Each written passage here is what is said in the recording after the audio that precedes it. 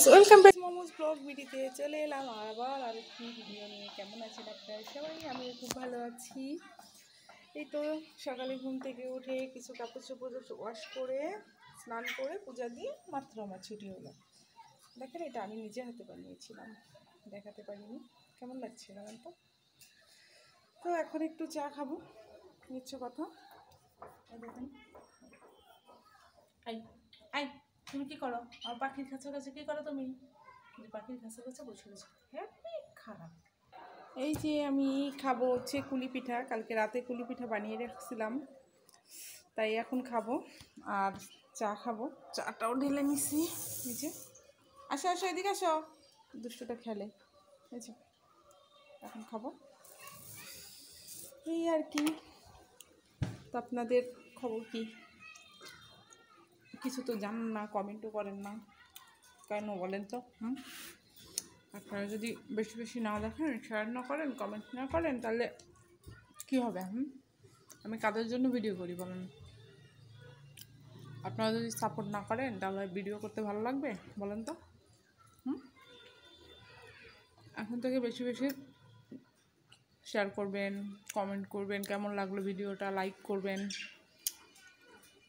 তবেই না আমি আগ্রহ পাবো। তাই না? যাই হোক, চাটা খাওয়া শেষ করি। তারপরে রান্নাঘরের দিকে যে কী কী রান্না করব, আপনাদের সাথে সারাদিন কী করলাম, কী রান্না করব সব কিছুই শেয়ার করব। সাথে থাকুন দেখতে থাকুন। চলে আসছি রান্নাঘরে। ছোট ওই যে কাঁকড়াগুলা ধুবো এখন। সব তো রান্না করব না, ফ্রিজে রাখব। আজকে কিছু রান্না করব সেই জন্য। তো দেখেন এগুলো কীভাবে কাটতে হয়। গরম জল হলে ভালো হতো গরম জল করা হয় নাই। এই যে এইভাবে ছোটো ছোটো কাঁকড়াগুলো খেতে বেশি ভালো হয়, এই যে ঘিলু আছে ভিতরে। এই জন্য সে নিজে বসে প্যাপা প্যাপা প্যাপা করতেছে খাওয়ার জন্য। এইভাবে কাটতে হবে, আর এই যে পাগুলা ফেলে দিতে হবে, বা ছোট করে নিলেও হয়। এই আর কি। তো এইভাবে আমি কাঁকড়াগুলো কেটে নিব যে কয়টা লাগে আমার সেই কয়টা মতো। আমার হাসি পাবে এটাই স্বাভাবিক। এই যে সাইডের এগুলো কালো কালো এগুলো ফেলে দিতে হয়। তারপরে এই যে সাইডে ছোটো ছোটোগুলো ফেলে দিতে হয়।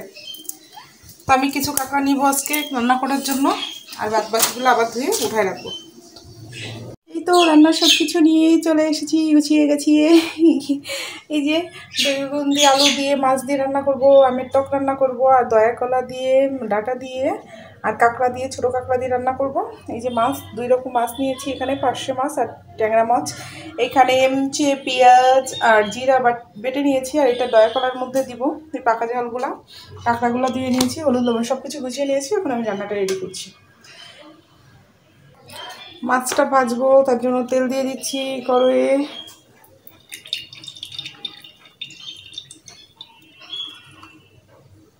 তেলটা গরম হোক। তেলটা গরম হয়ে গেছে, এখন আমি মাছগুলো দিয়ে দিব।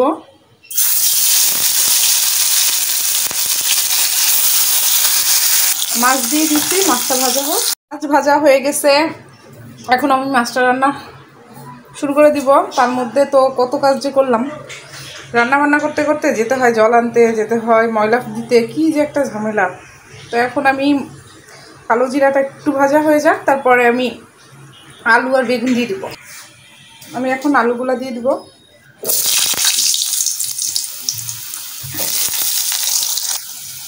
বেগুনগুলাও দিয়ে দিচ্ছি। আমি ঝোল ফুটে উঠলে বেগুন দিই না, আমি একবারেই বেগুন দিয়ে এইভাবে রান্না করি। এখন দিয়ে দিব হলুদ আর লবণ। লবণ দিয়ে দিলাম। আজকে চামিচ ব্যবহার করছি না, হাত দিয়েই দিয়ে দিচ্ছি, কারণ দেরি হয়ে গেছে আমার। ভালো করে নাড়িয়ে চাড়িয়ে দিব।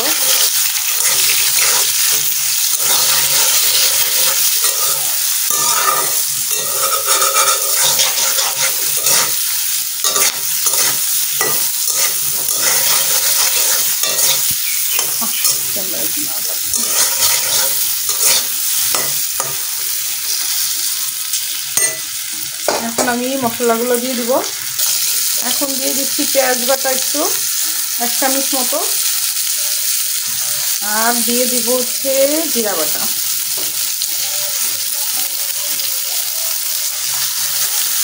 ভালো করে মিশিয়ে নিতে হবে।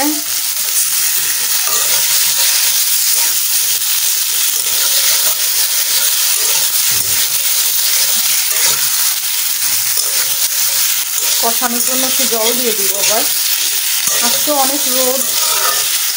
তিনটা দিন ধরে আবার নতুন করেই গরম পড়ছে। কোনো বৃষ্টি নাই। বাতাস হচ্ছে প্রচণ্ড, কিন্তু গরমের তাপটা জানি যাচ্ছেই না। কালকে একটু ঝড় ছাড়ার মতো অবস্থা, কিন্তু সন্ধ্যার পরে থেকেই। কিন্তু কিছুই না। কোনো বৃষ্টি বৃষ্টি হয় নাই। গুড়ি গুড়ি দিয়ে এক ফোঁটা বৃষ্টি হয়ে বন্ধ হয়ে গেছে। এখন একটু জল দিয়ে দেবো। সামান্য জল দিয়ে কষিয়ে নেব। আর এক চুলা জ্বালিয়ে দিলাম। এখন আমি আর এক তরকারিটা রান্না করে নিব। যে কাঁকড়ার তরকারিটা, তো কাঁকড়াগুলো ভেজে নিতে হবে। হলুদ আর লবণ দিয়ে কাঁকড়াটা ভেজে নিব লাল করে। কষানো হয়ে গেছে। এখন আমি ঝোলের জন্য জল দিয়ে দিচ্ছি। কাঁকড়াগুলো ভেজে তুলে নিছি। আমি তেলের ভিতরে এখন সরিষা দিয়ে দিচ্ছি। দয়া কলা আর বাটাগুলো দিলাম।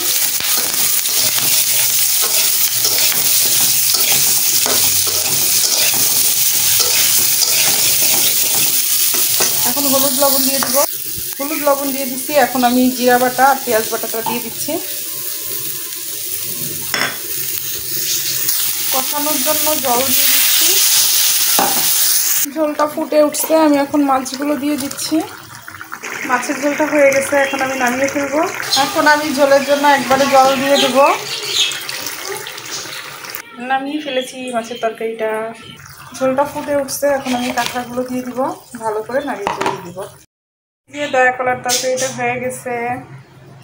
আমি নিয়েছি, আর এখন এই যে পাখির খাবারগুলো ঝাড়তে হবে রাখা আছে, পরিষ্কার করতে হবে। বাইরে প্রচণ্ড রোদ, ওরে বাবারে কী গরম। তো যাই হোক আজকে ব্লগটা আমি এখানেই শেষ করছি। সবাই ভালো থাকবেন, সুস্থ থাকবেন। দেখা হবে আবার নেক্সট ব্লগে যদি ব্লগটা ভালো লেগে থাকে লাইক কমেন্ট শেয়ার করবেন সাবস্ক্রাইব করবেন। এই তো। তো যাই হোক, এখানেই বিদায় নিচ্ছি। Bye bye.